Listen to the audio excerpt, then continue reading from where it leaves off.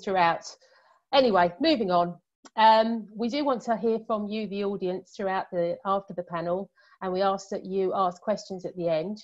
Apparently, there's a raise your hand icon uh, somewhere on your Zoom um, controls. They can do that uh, to ask questions at the end of the panel. Just to let you know, the idea for this panel came about last year from my co-moderator Pooja, who thought it'd be a great idea to team up with INSOL and a number of us were intending to obviously go to the conference in Cape Town, unfortunately, which we were all disappointed uh, uh had to be cancelled, obviously for obvious reasons in March. Rather than let the um, opportunity go to waste, IWIRC and INSOL made it possible and here we are by power of Zoom today. Moving on, some introductions. For those of you that don't know, IWIRC, our sponsor and Zoom host, stands for the International Women's Insolvency and Restructuring Confederation. It was set up in 1994 and spans the globe. It is the premier global networking organisation with over 1,500 members and is dedicated to promoting women in insolvency and restructuring through networking. Thank you for supporting us today. I'd also like to thank INSOL. Now for panel introductions. My name is Mia Drennan. I am the co-founder and group president of GLAS. Our firm is the leading independent agency firm which specialises in complex restructuring situations. I am also the European Networks Director for IWIRC. Moving on, I'd like to introduce you to my co-moderator, Pooja Sinha. Pooja is a partner at GLS Law, an international new age law firm. I'm not quite sure what that means, Pooja, but based in Singapore. Pooja is a corporate finance lawyer with extensive cross-border restructuring experience. She is IWIRC's Asia Networks Director, a member of IWIRC's UC Trial Committee and INSOL's Technical Research Committee. Moving on to Japan, Yuri Sugano is a partner at Nishimura and Asahi in its restructuring and insolvency practice, as well as serving co-leader of its labour law practice in Tokyo. She is the co-chair of the Japan network at IWIRC and has been for the past three and a half years. Moving on to the UK, Sonya Van De Graaf is a partner at Morrison and Foerster in London. Her practice focuses on cross-border insolvencies and restructuring, devises advising creditors, debtors, and boards of directors. Moving on to Cayman, Rebecca Hume is a partner in Kobre and Kim in Cayman. She specialises in cross-border insolvency, litigation, international judgment enforcement, fraud and asset tracing, and complex commercial disputes with particular emphasis on private equity hedge funds and joint venture and partnership disputes. Her practice covers both offshore and onshore regions and she represents shareholders and other stakeholders in cross-border restructurings, both solvent and insolvent liquidations. Kathleen Wong is a banking partner at Allen Overy and based in Johannesburg in South Africa. She advises lenders and borrowers on a wide range of international banking and finance transactions, including syndicated loans, project finance, acquisition finance, and debt restructuring. She has extensive banking and finance experience in developed and emerging markets, having worked in Europe, Asia, and Africa. Kathleen is, is rated as highly regarded in banking and project finance by IFLR. Smitha Menon is a Singapore lawyer with Wong Partnership. She serves on the Singapore IWIRC Board and the International Chamber of Commerce. Her practice covers both restructuring and arbitration mandates, which are mostly cross-border in nature, given Singapore's efforts to become an Asian centre for dispute resolution and restructuring. Without further ado, let me hand over to Pooja to start the first theme of the panel. Thank you, Mia. Um, now, while I work for a new age firm, it's not new age enough to fix my virtual background, so we'll just have to go with my boring wall instead. Um, right, so I just wanted to start with some background on the topic. Uh, you know, why do we think that the topic is relevant today?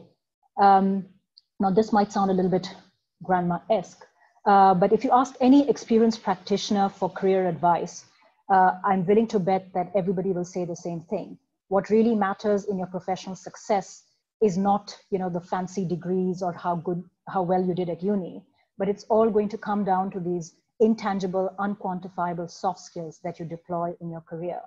And debt restructuring deals are a perfect example of that, uh, because by definition, each deal is bespoke, which is just a polite word for messy, and involves dealing with multiple stakeholders. So that's when appreciating and navigating cultural considerations to get the deal across the line becomes particularly important. Um, there's also some other reasons why this topic is particularly relevant as of day, living as we are in the COVID world. There is going to be an increase in cross-border debt restructurings in due course. And this is obviously exactly the kind of debt restructuring where cultural considerations come to the fore. Over and above that, the topic of culture and cultural differences has actually become a very polarized one in today's global economy, given the geopolitical uh, circumstances that we're operating in. We've got the world's biggest superpowers who are culturally distinct in themselves, um, engaged in a battle for political and economic dominance across the globe, and not scared to deploy everything from their checkbook to the power of the legal regime to do so. So those broader dynamics are going to play out even more in the restructuring landscape as well. So with that, let's move to panel theme one, which is to explore what do we mean by cultural considerations.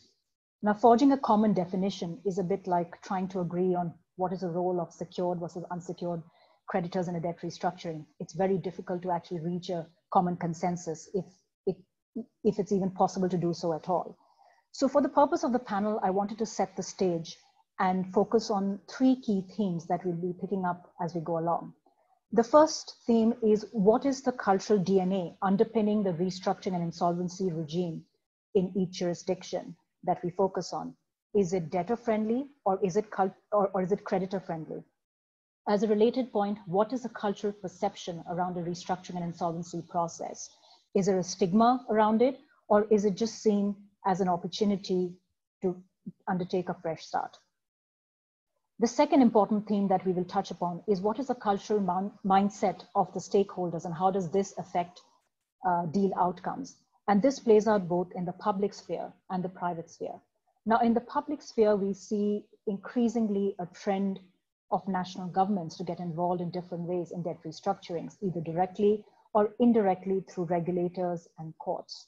Now, there's increasingly a trend to take action to either protect what is seen as a public asset, be it an SOE or a private company which is owning a so-called public asset, or to protect certain vulnerable classes of domestic creditors, such as retail um, investors, or indeed even domestic banks. And of course, there's always the question of local employees. In the private sphere, it comes down to the differing cultural mindsets of both the organizations per se, but also the individuals representing the organization in that specific deal. Um, now, how organizations think is obviously driven by a number of different factors. And obviously there's some prevailing stereotypes around that as well. And we'll partially touch upon stereotypes on this panel as well. We all know the stereotype of the you know, supposed short-termist value-focused US distressed debt investor. And on the other hand, we also know the stereotype of Asian and African family-owned businesses where business deals are built over handshakes and cups of tea or other strong beverages over many years, rather than sitting across the table and signing on the dotted line. And finally, time permitting, we will also explore our own cultural mindset as deal practitioners and how this can have an impact on the deal outcome. And this includes not just understanding and appreciating our own cultural identity and the cultural identity of stakeholders, but it's also the, a function of the implicit and explicit biases of the ecosystem that we operate in. Now, we're very privileged here to have a truly cross-continental uh, panel to discuss these very important issues we have all but two continents represented. Uh, in one continent that we won't cover, the primary residents are scientists and penguins, and luckily debt restructuring isn't quite an issue there yet. So I think it's fair to say that we have a truly global representation here today. So I would then turn to each of the panelists uh, for a local perspective from their national and their regional context to two of the themes that I just covered. As a recap, what is the cultural DNA of the R&I regime? Is it debtor friendly or creditor friendly? And what is the perception of being in a restructuring and insolvency process? And the second theme, how have cultural considerations played out among stakeholders? So I'll start with Sonya, who has a unique perspective, obviously sitting at the center of the common law world, so to speak, in London, and obviously at the front and center of many cross-border deals as well. Thank you, Preeta. Yes, uh, sitting at the centre of uh, the, the, common law world in, here in London, um, Americans might um, cavil with that. So I'm, I'm, going to take a little step back and have a, a look at uh, the history of, of what informs our, our um, bankruptcy law DNA. I think it's really interesting to have a look at the stark contrast between the treatment of bankrupts historically as between the US and the UK. You look back to Dickens' novels and the way in which he represents the, the grim world of the debtor's prison and how in those days um, it was so shameful to, to be a bankrupt. You'd be imprisoned until you could repay your debts. Now, how, how on earth do you actually repay your debts if you're stuck in prison and can't earn any money to repay your creditors? So people would often die in prison, and Dickens represented that beautifully in some of his books. You compare that with the entrepreneurial spirit of, of the US, where it's almost a rite of passage to become bankrupt at, bankrupt at least once um, as your ultimate path to success. And uh, I think Trump is a pretty good example of that. Um, so I think, you know, taking that step back, um, we can see how that history informs the current processes that we have in the UK and the US. So in, in the UK, yes, I think it's fair to say that we have a creditor friendly uh, jurisdiction here. But in my opinion, that represents quite a modest goal, which is you know one of salvaging the um, the assets for the, the benefit of the creditors. Um, so you have a situation where the directors decide that they need to file for insolvency. Upon that happening, they get displaced from their office and, and their duties by an insolvency practitioner who is an accountant, a specially qualified accountant, whose job is to try to run the company as best he can for the purpose of the administration. And because of the difficulty in raising money in an administration, if there are fixed charges already, you can't prime those fixed charge creditors. Um, it's very difficult for the insolvency practitioner to actually achieve the first goal of administration, which is to, to sort of rescue the company. So we're left with very often a situation where the company goes into liquidation or we have a pre-pack administration whereby the assets of the company are sold to the incumbent creditors. Um, so I think that's that's sort of the the creditor friendly world that we have traditionally here in the UK, and we'll move on from that shortly when we look at modern influences. But let's compare it now with what we have in the US, which I think we all regard as a very debtor friendly uh, jurisdiction. And it's debtor friendly because it's a lofty goal, which is to rescue the company as a going concern, with the incumbent managers running the company throughout the Chapter 11 process and to, to steer it through that process of negotiation with all of the stakeholders and emerge with a, a better company, a better balance sheet, and a better operational footing. And of course, in chapter 11, I mean, it's, it's quite an extraordinary thing. You know, we take it for granted that there's DIP financing in chapter 11, but you think about the fact that that process allows these directors who have you know, in, in our mindset, perhaps here in England, who have allowed the company to get into a state of insolvency, to run the process through insolvency and actually borrow money which can trump the, um, pardon the pun, which can prime the uh, fixed charge creditors, albeit with, um, with some uh, protection for them. But it, that is quite an extraordinary concept and one that we have not been able to get our heads around here in the UK, even with our new um, Chapter 11 light legislation on the, the statute books um, currently. Um, so I think another pillar of difference between the two is um, the court involvement, the extent of court involvement between the, the UK process and the US process. In the UK, it's very limited. As I said, you know, we've got an insolvency practitioner who is appointed to, to take over the company. And he is cloaked with very generous statutory powers and authority.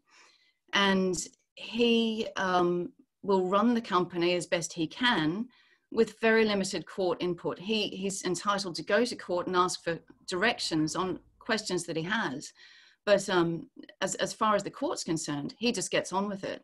You contrast that with the US approach, and it's a very intense court process. You know, that you'll find the company and the creditors in court at least once a week, and the judge rolls up his sleeves and presides over the negotiation to make sure that it's fair. So, all of the credit constituencies in a US Chapter 11 have a very um, big role to play. Contrast here, ironically, our creditor friendly system, and the creditors have a fairly passive role to play. Um, but as I said, you know, we, we have modernized a little bit because as Pooja mentioned, the common law is, is beautiful in that it does live and breathe and it's influenced by its circumstances. And I think the globalization of the economy and the rush of US investors to uh, the UK and to Europe to put capital to work um, recently in the last decade, decade and a half has seen us to try to uh, develop some restructuring systems here which are more sympathetically minded to the American way so that we can appeal to these uh, American investors who we love and want to invest here. So that's seen us develop what we all know as the scheme of arrangement, which is an incredible testament, really, to the ingenuity of English lawyers and their resourcefulness, because the scheme of arrangement, incredibly, is born out of a couple of sentences in our Companies Act, which say very glibly um, a company may uh, come to an arrangement with its creditors and shareholders. And out of those two sentences, we've developed this extraordinary, rich jurisprudence of scheme of arrangement law. And it's resulted in countries from all over the world, including the US, coming to the UK to benefit themselves from the scheme of arrangement. We've seen hundreds of billions of dollars wiped off the balance sheets of companies so as to, to right size them. You know, they've been over indebted. The alternative would be liquidation under their their existing laws in their home state, and that's not palatable. So the scheme is is a wonderful thing. Um, just a couple of other other things to mention very briefly. In the in the uh, world of COVID nineteen, we now have uh, the resurgence of admin light. Now, I I made the very bold statement that on entering into an administration, the directors are um, exited from their their duties. Well, in admin light, um, we're seeing a resurgence of the technical ability uh, for the administrator and or the court to uh, um, keep the directors in some sort of power, and it's, it's, a process of negotiation, and that's that's done now because it's seen as being no blame attributable to the directors. We want to be able to put in place a system to sort of hold the ring until this um, you know liquidity crisis goes away and things can become normal again. So we cloak the company in a moratorium with the benefit of an insolvency practitioner and with the directors still steering the ship. So that, that's a wonderful thing.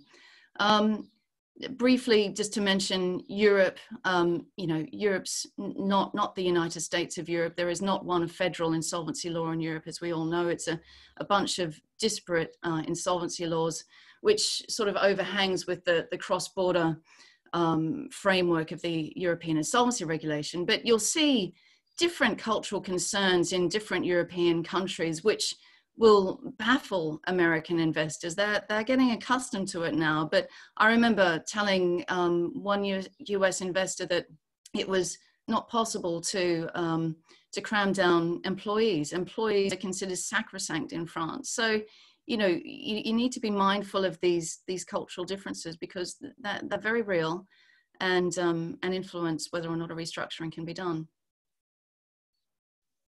thanks sonya that's that's very useful um, i should just say that you know certainly from the perspective of the former commonwealth countries you know we've sort of tended to export english common law you know as a starting point and then sort of put in a patchwork of changes uh, that we then adapted to our restructuring and insolvency ecosystem. So that's had its own cultural um, sort of implications as well. But I think we'll touch upon that uh, later on in the panel as well. If I could ask uh, Rebecca to step in, so I was trying to find you on the screen. You're obviously no. sitting offshore, uh, Rebecca, in that wonderful tropical location. um, yes, no, we, we were told to share our location, so I, I apologise if uh, if it's making people envious. But I think the the thing that Cayman's most known for, outside of being a financial centre, which I'll come on to, is Seven Mile Beach. So that is Seven Mile Beach. Um, sort of building on what Sonya said, and also um, Pooja just now, the Cayman Islands is a British overseas territory. So it won't surprise people to know that um, its um, legislation and common law does um, springboard off um, the English system, as we'll see as we go into this. Um, and I think informing Cayman's culture is the fact that it's the fifth largest financial centre in the world, even though the main island, Grand Cayman, is about 24 miles long and at its widest part about two miles wide. So pretty amazing feat for such a small island. And it's also known as the hedge fund's capital of the world. Um, prior to 2009, it had really a hybrid legal system because it had its own legislation, um, but it still relied on the English insolvency rules, which were not really fit for purpose because the two didn't marry up in, in every way. But since 2009, it's had its own legislation and rules. And if you were to look at them, you'll find similar, both similarities and differences with the um, English um, Insolvency Act and rules. And like the UK, it is a creditor friendly jurisdiction because a major part of its business is its investment funds and its structured vehicles. And so it's a fundamental principle of um, in insolvencies and restructurings, um, that the pari passu treatment of creditors is upheld. So generally, unsecured creditors will share equally in the assets of the insolvent entity that are available for distribution. And this is underpinned by the range of clawback claims um, in the companies law, um, which uh, Part 5 sets out the insolvency regime, and they're designed to protect and give effect to that principle um, and ensure that the assets are preserved and made available for unsecured creditors. Um, we have a sophisticated court system um, supported by highly skilled and experienced lawyers. Um, those lawyers will come from um, England and from many English common law jurisdictions. And we have a stable political regime, which we'll see when we go on to um, look at some of the other topics that Pooja's highlighted, does influence um, uh, how we do business here. And our economic environment is um, also stable, um, COVID-19 accepted, which I, you know, poses challenges for us all going forwards. I think it's important to note that our highest court of appeal is the Privy Council, um, and that is essentially comprised of the same judges that sit on the highest court of appeal in England, which is um, the Supreme Court. And so they have similar qualifications and experiences to the UK judges. And we're, we're financially backed by the UK as a British overseas territory, which um, obviously dovetails into the stable um, political um, and economic environment. I think one of the unique things about Cayman is the majority of our companies that end up being um, the subject of restructurings carry on business outside the jurisdiction. So the cultural impact that you see in other jurisdictions is not necessarily as visible because our restructurings are predominantly cross border. So we're very used to having to grapple with and deal with the competing um, legal and political regimes of other jurisdictions. So Cayman doesn't really have a culture in that respect that overlays those. It's, it's more um, neutral, I would say, when it comes to looking at those. This also means that the Cayman court is very adept to dealing with cross-border insolvencies and they've, we actually have built into our legislation our liquidators looking at whether we en they enter into cross-border protocols if there are other office holders in other jurisdictions. Unlike the UK, um, our office holders are qualified insolvency practitioners, typically accountants, although um, lawyers can also take up that mantle provided they have the appropriate um, qualifications. But most lawyers um, seem to choose not to. We don't have, we, we have more of a hands-on approach to our restructurings, unlike the English administrations, um, and probably a little bit more similar to the Chapter 11. I know when I first came to Cayman, uh, getting on for 11 years ago now, I felt like um, the court's intervention was more like the UK back in the late 80s, early 90s when I first qualified. So the court does retain a, a pretty um, hands-on hands-on approach and does require periodic reporting to it, and it will oversee key decision making by um, by the liquidators. Um, I think in terms of um, the restructurings here, it's mainly been um, balance sheet restructurings of global companies, especially you've seen uh, more recently in the oil and gas industry. And I'm sure that many of you will be familiar with the Ocean Rig restructuring, which was pretty groundbreaking for Cayman. Um, like the UK, we have schemes of arrangement, and our Bank of Case Law uh, very much um, embraces the development of the scheme of arrangement um, in the UK, and we have followed a lot of cases there. So, meaning that we do have that flexible tool. But because we don't have the administration regime and because schemes of arrangement sit outside um, of insolvency, it's not an insolvency regime, it's just been used um, uh, to restructure companies. We use um, soft or light touch um, provisional liquidations, which mean the directors do retain some control, but you do have provisional liquidators appointed by the company who oversee and help implement either the restructuring or a compromise um, with um, creditors.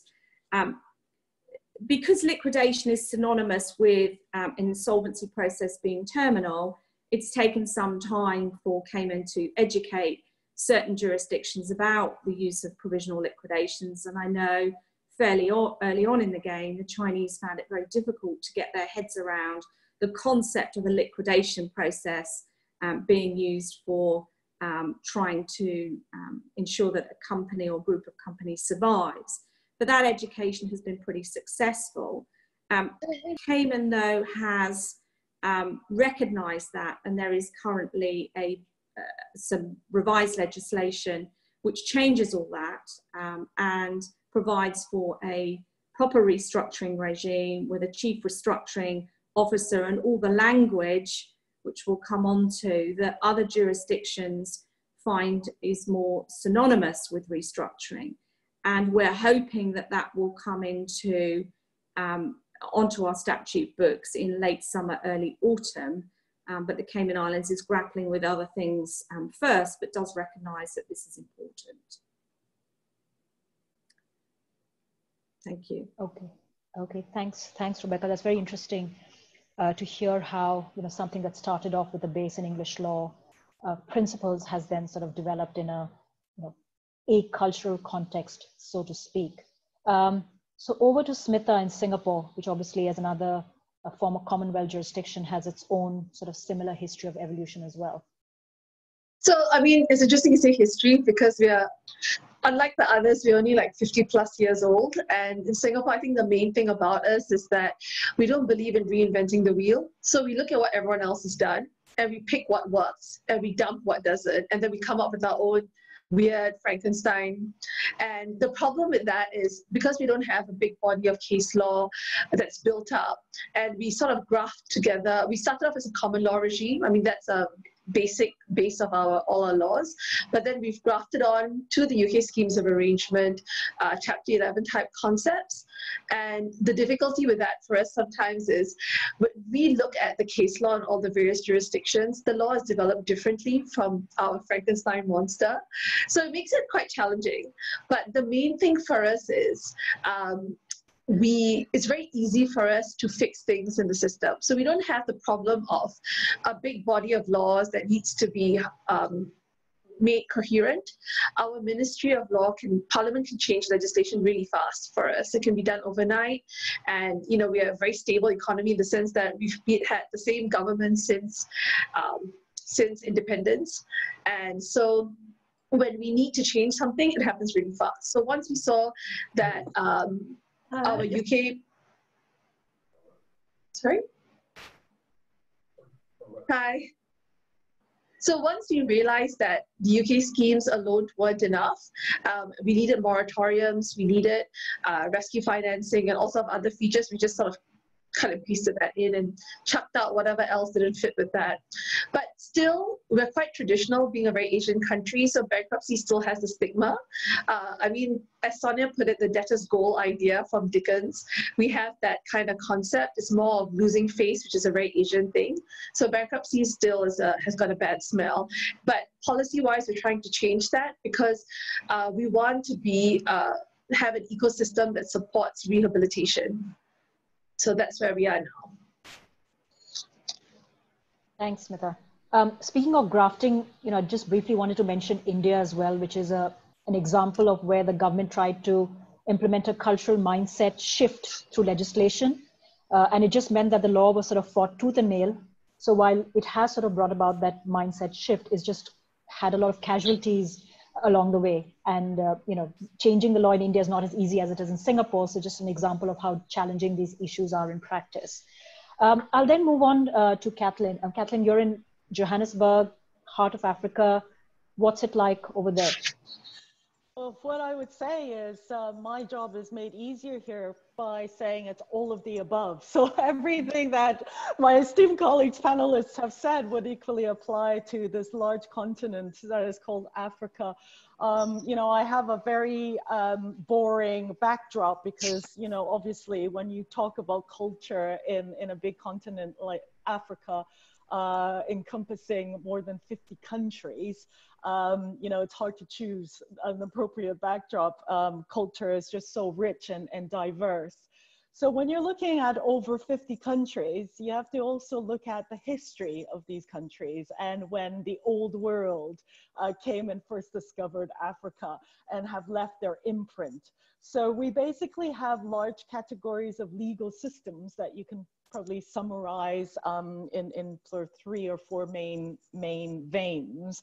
Um, you have the countries that, um, given their, their French uh, history, the OHADA countries like Cote d'Ivoire, Senegal, um, who have adopted more of a French Napoleonic uh, tradition. Um, and so when it comes to insolvency regimes, you know, it's still very much informed by by, by the, the, the old legal systems with workers' rights being at the, the heart of it.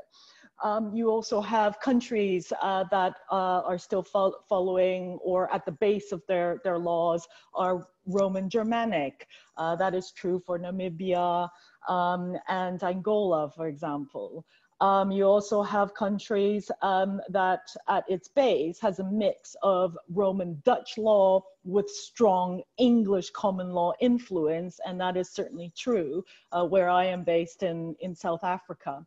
So in South Africa, there is um, a, um, a, a, rescue uh, regime that is, that is available called the business rescue, um, which enables corporates um, to resurrect um, and it is an alternative to liquidation. And one of the most famous recent business rescue cases uh, is South African uh, Airways. Um, so uh, SAA has gone into formal uh, business rescue proceedings. It's grabbing all the headlines because um, it just shows how challenging it is actually, uh, particularly when you are looking at a state-owned uh, enterprise with uh, other considerations uh, behind it, you know, keeping jobs and also at the end of the day, keeping Southern Africa connected to the rest of the world uh, with uh, Johannesburg being an international uh, hub. flight connector, although these days no one's really flying anywhere. Um, so what's interesting about this whole diverse, rich mix of culture in, in Africa is that those who have um, uh, experience in, uh, say, the English um, uh, insolvency uh, market um, can actually uh, provide some experience and draw from uh, the applications of laws in England uh, to, to also predict how uh, a certain case might end up in, in Africa. So uh, recently in, um, in a default situation in Kenya, um, Kenya is one of those countries in Africa that has decided to revamp its insolvency laws more recently, post independence. Um, and so we're dealing with the Insolvency Act 2015. And uh, if you speak to local counsel there, they will say often, you know, there's a lot of uncertainty and elements that are unclear about the new law. But because it, we have um, uh, polls uh, quite a lot of this from the English Administration Act, then let's go to England and see how uh, certain provisions have been applied. And so as an English uh, solicitor, it's helpful to be able to draw from the English experience to predict the future in, in, in a way. So that, that's quite an interesting aspect of what we do in Africa. Great, thank you, Kathleen. That's, that's very, very informative. Um, I'm actually going to use that reasoning as well. The reason I have a blank background because Asia is just too heterogeneous.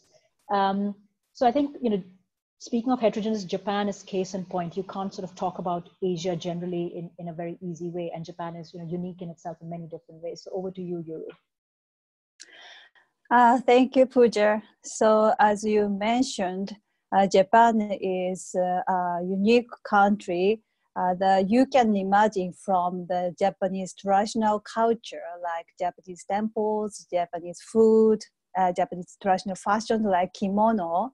So Japan is the island uh, long isolated from the Western uh, culture and uh, has developed uh, the unique culture.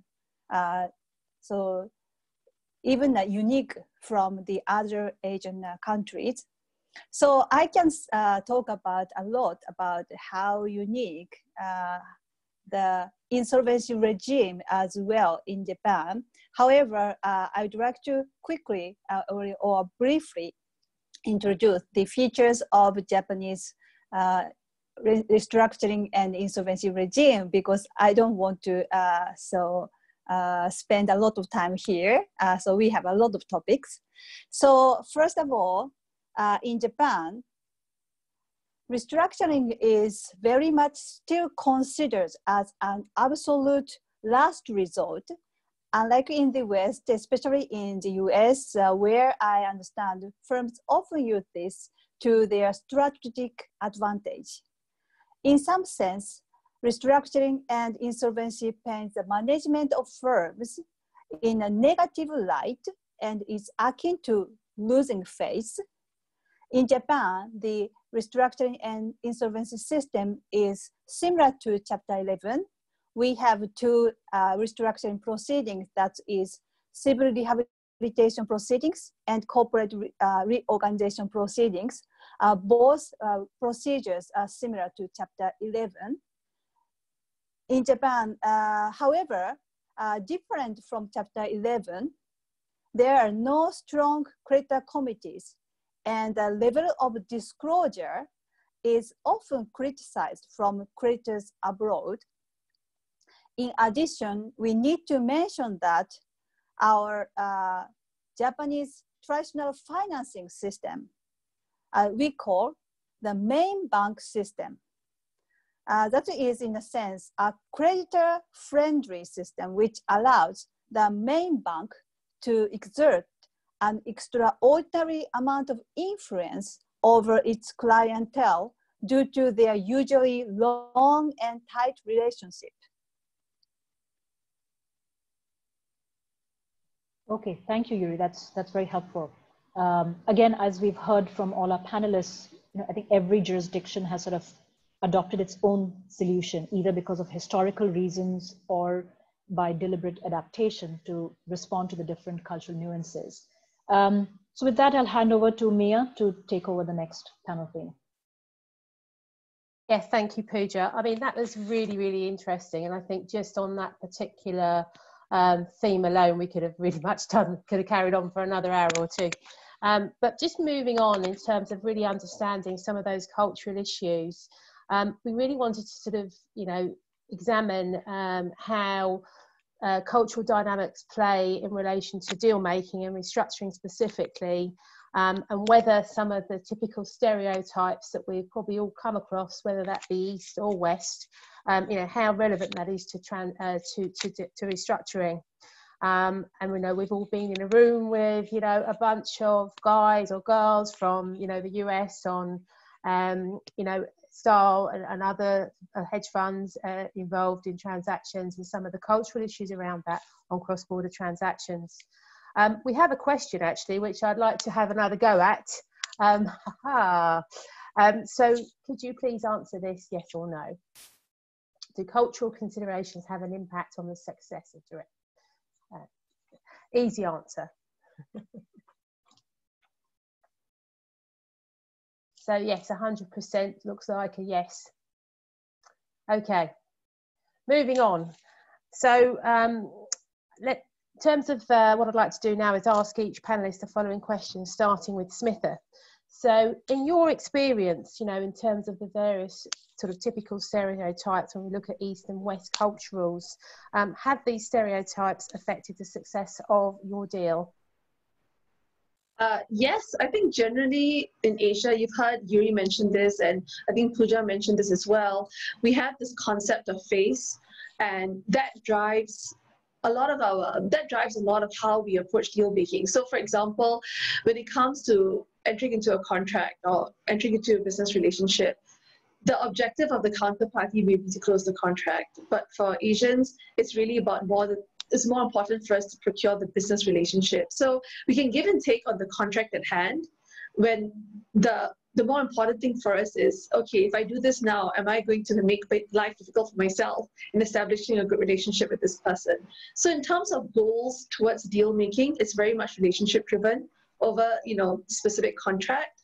And linked to that is this idea that um, you shouldn't lose when you win.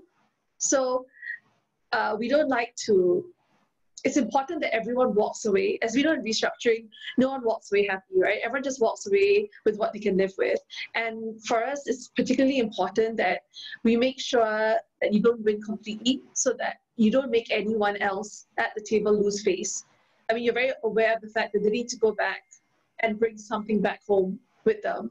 And so that drives a lot of our motivations when it comes to negotiating a deal or, restructuring. And I mean, the I think the other thing that I've noticed comes up quite a lot, even though it's a very strong stereotype, it's the hierarchy that's involved in communication and deal making. So at the I mean, just at the very outset, I see like um, you'll see funds send if they're an American fund, for example, they'll send someone junior when they know they're going to be meeting like the CEO of a Japanese company. I mean, like to to us, this is just a no-no. Uh, it's really important for us that uh, the people, the decision makers are matched because in Asia, decision making is not necessarily uh, spread out. It could be centralized, it could be extremely bureaucratic. And when you go into a room, it's really important to know whether you're just really dealing with people who don't have any decision making powers because you're then just wasting your time. And um, that I see that happening a lot because people don't send the right people to the meetings, or at least the first meeting. So that's one thing that I see come up over and over again. The other thing I see a lot is um, you see at these creditors meetings and everything, there's a big disconnect when it comes to communication. I've noticed that for Asians, we don't really like to disagree with you directly.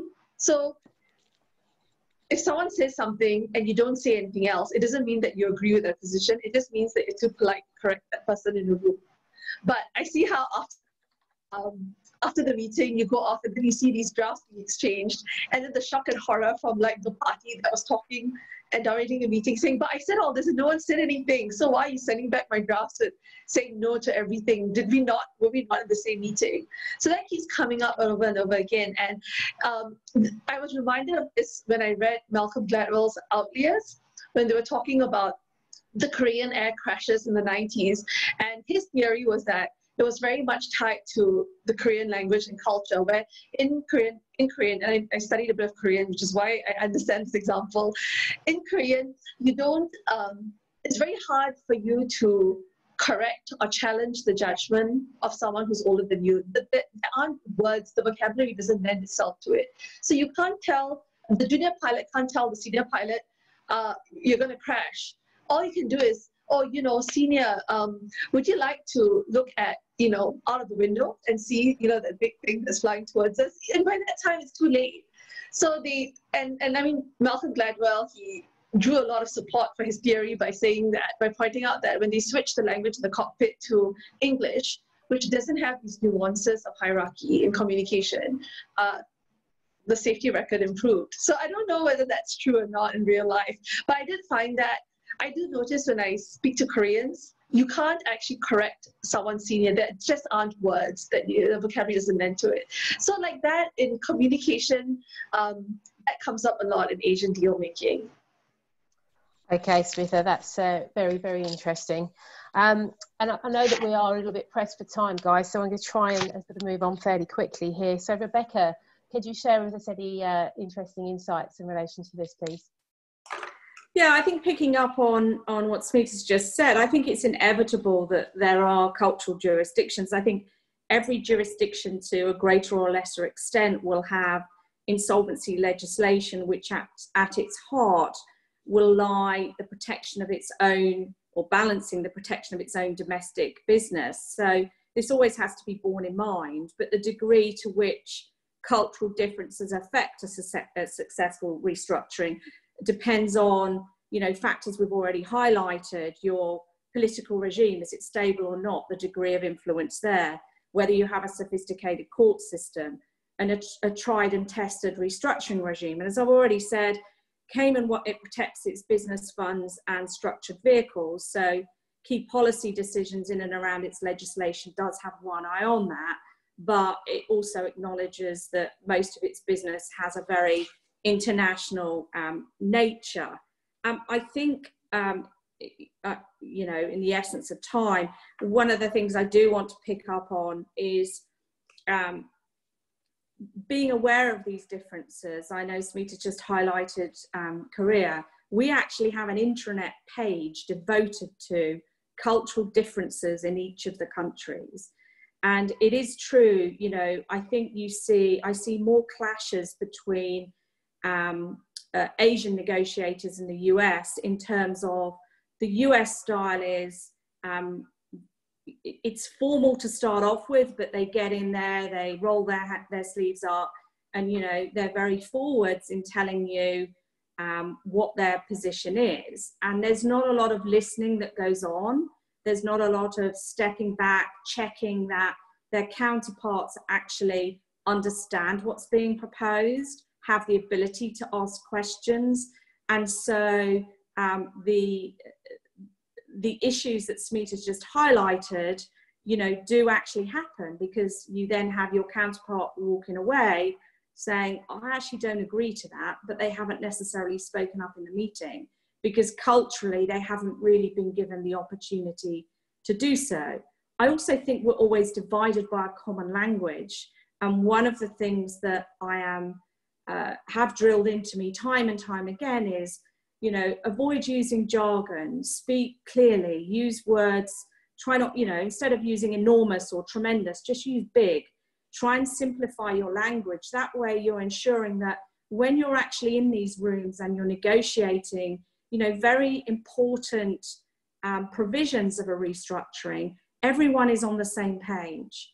Um, I just very quickly had a have a situation that's just resolved where oil and gas company, um, because the US advisors had really looked at the set off, netting off of intercompany liabilities, they thought they'd compromise that whole situation the, the original parent company had been hived off and put into a Cayman liquidation with the, the redundant companies underneath it. And because they hadn't looked at it from a Cayman perspective, there was a whole intercompany position of about $100 million that the new parent was facing having to pay. And we had to find very creative solutions to resolve that. They ended up paying 15 million. But that's an example of not really being aware of how things impact in the different jurisdictions, both culturally and legally. So I'll, I'll leave it there because of uh, time. Okay, that's great. Thank you, Rebecca. Sonya, I think you had a couple of insights as well. Yeah, okay, just, just a couple of points, um, given the time. Just responding to a point that Smitha made about people needing to walk away with something. I think in the UK it's quite different because we follow the the counterfactual. What would the counterfactual to the restructuring be if, if you're in a restructuring process like a scheme of arrangement? Well, very often the counterfactual would be, say, a liquidation. And so um, the, the waterfall uh, would, would therefore follow um, the restructuring. And so a process of valuation occurs.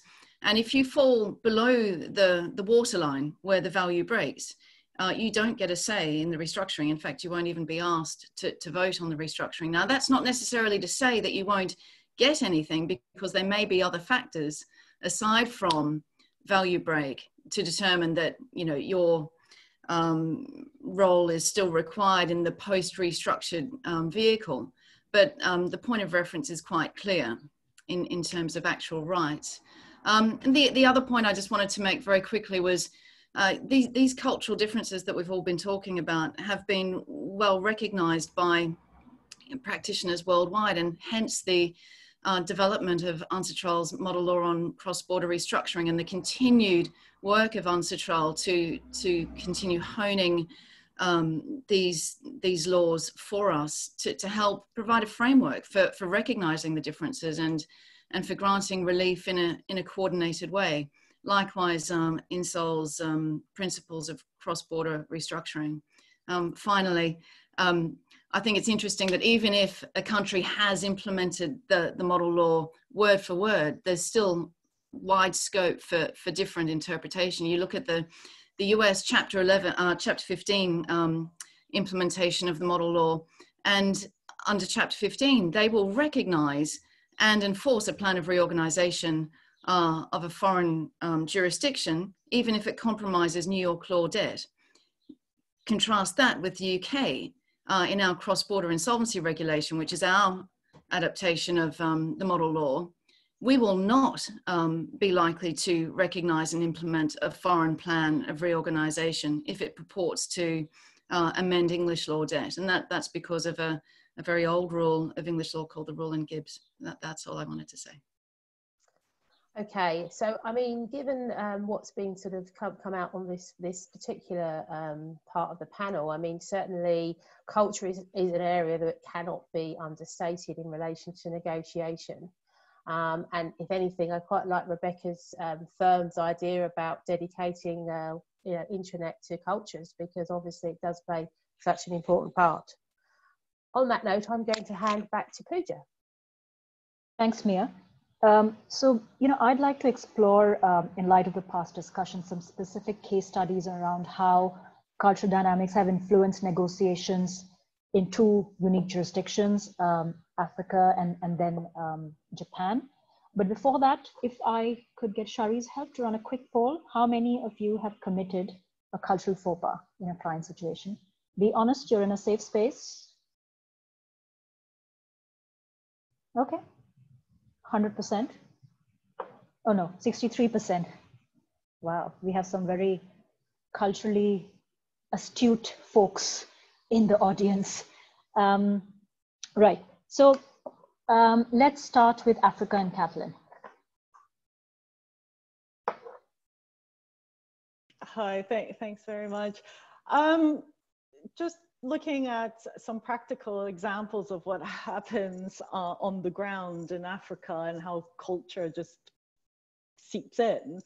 Um, in many cases, in cross-border situations in Africa, we would be looking in a private, in the private sector, private companies.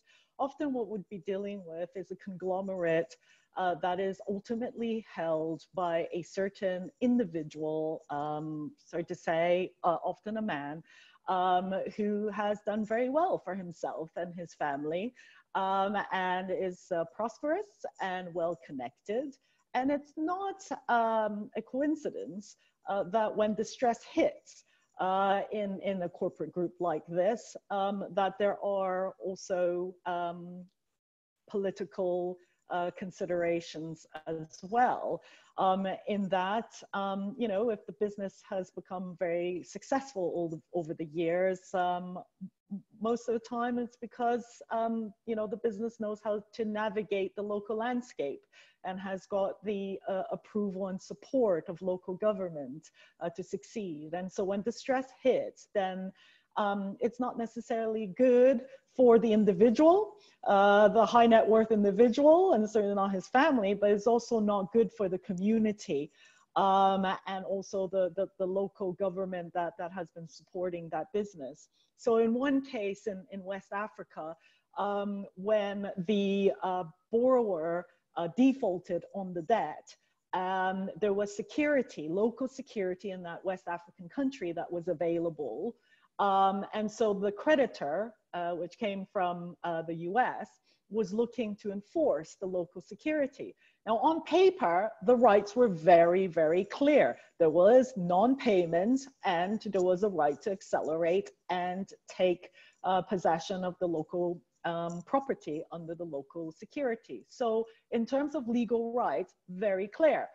Um, however, when the creditor came on the ground in country to have some discussions with local receivers uh, just to prepare for enforcement, um, uh, basically um, the local community got wind of these meetings um, and then that generated uh, into a high level uh, phone call made by you know a local uh, government official to uh, the um, the head of department at the creditor uh, saying what is this that I hear that you're preparing to enforce? Um, so so there there are things that do take place um, outside of the legal documentation that one will need to take uh, take into account now, the political aspects of it are also particularly important when you're looking at restructuring a state-owned enterprise. Um, you know, I mentioned earlier the SAA South African Airways example, uh, where it's um, it's not it's not only looking at the commercial aspects of what makes sense, but it's also what does it make sense for the country, for government, for the people of South Africa. Um, and, uh, and so, you know, to do a proper restructuring, um, you would need to shed jobs, uh, tens of thousands of jobs. Um, you also have local banks that are exposed to the credit. So, you know, if not properly dealt with, um, it could also have um, impact on the local financial uh, systems and, and local financial institutions as well. So um, I, I, would mention that political, social, economic considerations are, are very um, important to, to look at in a restructuring in Africa. Um, and then finally, I've just mentioned that with the Belt and Road Initiative, um, that um, that there, there there there is a lot of Chinese capital that has come into Africa, as part of the Belt and Road Initiative and also outside of that as well. So when the stress hits on the continent here, often than not, um, you will see a Chinese player somewhere in the capital structure. And uh, they can come in um, as a creditor, both public side and private side. Um, they may be the construction uh, party in the projects. They could be the equity investor. Um, so wearing those different hats will drive behavior in how in in in a restructuring as well. Um, so when you mix the Chinese element with the Africa element, it does make for for some very interesting case studies. Thanks, Kathleen. That's that's that's fascinating, and I think politics has had a key role to play in Asia as well. And actually, I think you know this sort of framework makes it even more challenging for us as lawyers to advise our client because you can't just you know send a memo enforcement to your client. I think it's incumbent upon you to kind of explain the nuances of the political landscape as well. And that's quite challenging to do. So yuri over to you uh, on japan. Yeah so i would like to introduce uh, one uh, uh actual case uh, the takata airbag case. In 2017 i was involved in uh, one of the biggest automotive manufacturing restructuring cases, the Takata airbag case. At the time of its unfortunate crisis, they were in the second position in both the airbag and seatbelt markets, with 24% shares and then 23% shares respectively. So due to some unfortunate incidents, Takata faced a global recall and filed a civil rehabilitation in Japan, as well as Chapter 11 for its subsidiary in the US. The overall debt Takata faced was in excess of 30 billion US dollars, with 15 billion US dollars due to automotive related creditors. Takata transferred substantially all of the assets and businesses owned worldwide by Takata Group to key safety systems in April 2018. So uh, wait a minute, I would like to share one slide just for your information. I hope it works. Yeah, I think so. So if you take a close look at the stakeholders map, you can see that there are multiple stakeholders around Takata, such as car OEMs, financial institutions, trade creditors, and governments from all over the world. Due to the various nationalities, ethnicities, and jurisdictions involved, the process was extremely convoluted. I was involved in the Takata case as a representative of one of the biggest car OEM creditors. The car OEMs faced serious problems in Takata's restructuring process. The biggest issue was how our client could maintain the stability of its supply chain and manufacturing operations throughout Takata's restructuring and subsequent sale of Takata's global operations to KSS. In addition, special attention needs to be paid with regards to how to deal with both the US dollars, US dollars uh, 15 billion recall claims in Chapter 11 and Japanese civil rehab proceedings. The 15 major car OEMs created a working group which were deeply involved in numbers of time, uh, times, numbers of time sensitive negotiations with Takata a total of 42 OEMs, including these major OEMs, had claims against Takata. More than 50 advisors, such as lawyers, financial advisors, and accountants, were retained by the OEMs in the US, in Japan, and EMEA, and so on. Compared to the multinationalities of the OEM, Takata itself was a traditional type Japanese corporation whose founding family controlled 60% of its shares. So as you can easily imagine, the internal decision-making process contained a number of cultural conflicts between the traditional Japanese corporation and the multinational global firms. In the OEM group, it took time for members to get used to the multinationalities, but gradually they deepened their understanding of the cultural differences amongst each other and the different procedures in each jurisdiction.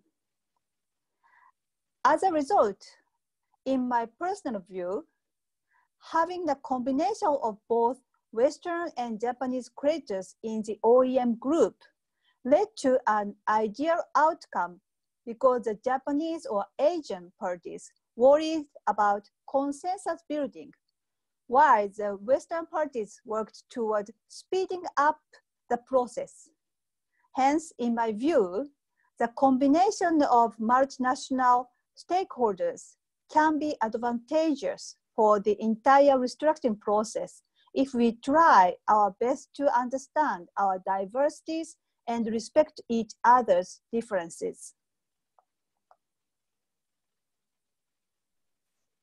Thank you so much, Yuri. That's that's uh, you know really fantastic takeaway. You know, cultural considerations isn't always a bad thing, and you've had a unique uh, ringside view to a cross-border restructuring in Japan that is played out as well.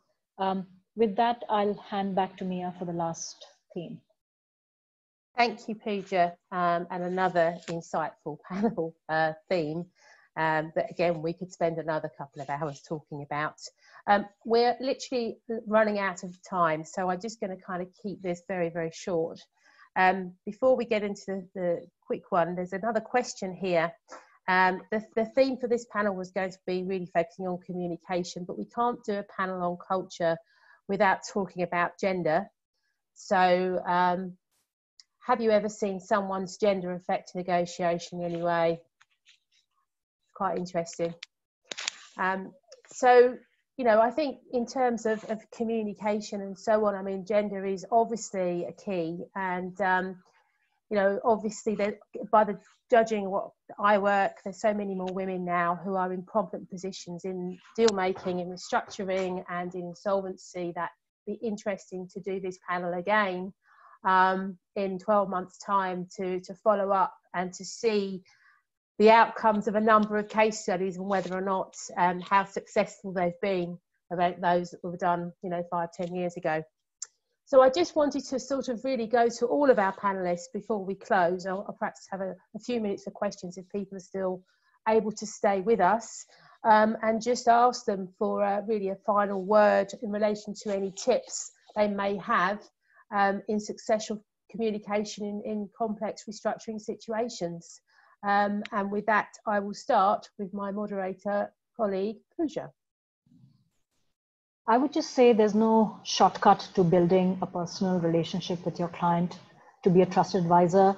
If it means getting on that horrible 6:40 a.m. flight to Jakarta to go over documents for days, that's just the only way to really be an effective deal practitioner in this part of the world. Thank you. Smitha. Um, I would just say uh, be aware of the tendency towards stereotyping. I mean, there's a reason stereotypes are stereotypes, but at the same time, speaking for all the Singaporeans, we're tired of deal makers asking us whether they'll get hung or beaten if they chew gum in Singapore. So do a bit of homework. that's that's my suggestion. Okay, that's very wise words, I believe. Um, Kathleen, can I come to you next, please? Sure. I would just say, I mean, obviously we're all each individual, so we bring our own self into whatever situation we're advising on. Um, and um, and um, you know we draw from our own cultural experiences and some of us you know like me i'm i'm not south african. I was born in canada of chinese origin having worked uh, in asia europe and, and now africa. So i bring all of me into uh, my deals. And what i say is i come with an open mind. I come in peace um, and i draw from from my different experiences. Thank you. Thank you. Yuri please share with us any, anything you have. Yeah, uh, my view is similar to my takeaways from Takata case. So even though it takes time, but we always need to uh, not to forget to uh, respect the diversities and then differences. So I, I think that the, all the time uh, the key, and then that's basic. Okay, um, Rebecca. Um, all of all of the above. I mean, ensuring you have good contacts. I think being a member of IWIRC, as as this has demonstrated, is an excellent place to start. I think for me, really, it is rem- remembering to be a good listener and respecting the cultural differences, making sure you're aware of them before you go into the negotiations.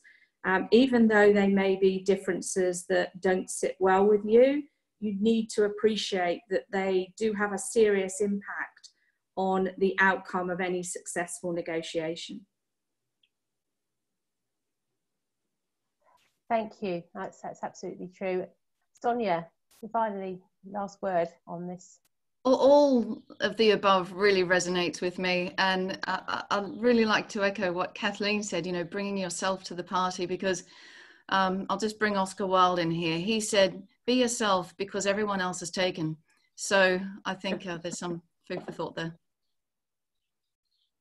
Absolutely. Well, I mean, as I say, it's been a fantastic um, panel. So, you know, throughout here, we, I don't say, I think we could have gone on for some time, um, really kind of examining these topics. So we have tried to rush through this to not take up too much more time. Um, but I feel that there will be several follow-on sessions um, coming up, um, and there's certainly some interesting themes here. Um, so it, we probably have got time for one or two questions. Um, so please feel free, if you have them, to raise your hand if you know how to do that, and we will do our best to answer them. Uh, it looks like George uh, Kalakos has a question, uh, had raised his hand. So I will unmute him. Okay. Hi, George. Hey, George. Hi. First of all, I want to say that this is the best, absolutely the best uh, program, virtual program that I've seen so far, and I've seen a bunch of them. Number two, I have to say that, of course, INSOL, but specifically IWIRC. You are very, um, from your uh, from your comments you're right on the on the money. I've been fighting this. Well, I'm not a typical American, as Sherry knows. I mean, I grew up overseas. Um, my practice is 100% cross-border, and I spent a lot of time in different jurisdictions. I'm sitting here in Malaysia right now. So, uh, you know, the way I, one of the things I would suggest for the future, you brought it down to this level, and that's wonderful. You know what's fun? We did something fun at Triple I, and I think this would be a great program that you could do virtually is um, almost like little skits. Think about coming down a little bit, demonstrating what you don't do and what you do. So we had a little, we had an interesting skit where, without getting into details, we had sort of the New York approach versus uh, a judge ringing a little, a little, uh, you know, a little triangle and then resetting, showing how maybe a different approach might be necessary. I run into stuff all the time out here, and one of the keys, I'll make a suggestion, you know, uh, people that know me, I've been doing martial arts for 51 years. And one of the things that I tell people is I do, I take lessons from my martial arts, particularly Tui Shou, push hands. You know, you don't always have to be yang, you can be yin. Listen, work on your listening skills, work on your stillness, work on your awareness of body language. Of course, you must le- learn to use um, uh, you know, to, to, to develop those skills and also rely on people such as the panelists here and, and many of the people that are participating. Rely on your local people, lead with them. You don't have to have an ego trip and lead in the negotiations. I don't. Stop that a long time ago. So be a little bit more yin, and that's a hint, hint, hint for the guys. Be a little more yin. You'd be surprised uh, where, where it gets you. That's it. That is an excellent point, George. Thank you very, very much. Any other questions, Sherry? I don't, not that okay. I think. Well, I'd just really like to say again, and I, am not, obviously we, we can show our appreciation by, by clapping, but I think this has been, know, thank you so much to um, everybody involved in the panel. Pooja, who's did a huge amount of hard work to get this to, um, to your viewing. Um, my first Zoom panel. So um, I'm glad that we managed to get through that without any main issues. And of course, thank you to INSOL and specifically to IWIRC. Um, this certainly demonstrates the benefit of IWIRC bringing us all together. And it's lovely to see a number of friendly faces on the screen as well. So thank you all very much and um, hope to see you again soon.